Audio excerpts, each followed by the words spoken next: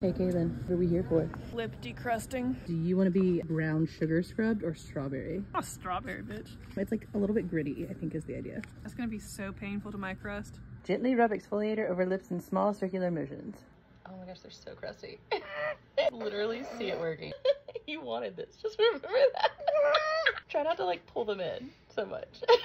Because the crust is like inside. You're crying.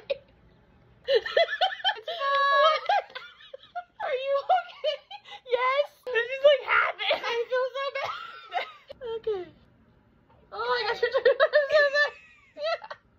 Yeah, that's working. Do that. Ooh, crusty. I'm gonna be so kissable after this. You're gonna be so kissable. Imagine this going differently. we do a spa activity. We're gonna be so pampered. It's not that. Oh, it smells it! It smells like passion fruit. Who likes that? Lots of people. Creamy. So moist. So moist and kissable. Not like you look bad, but like emotionally, you look like you just got hit by a train.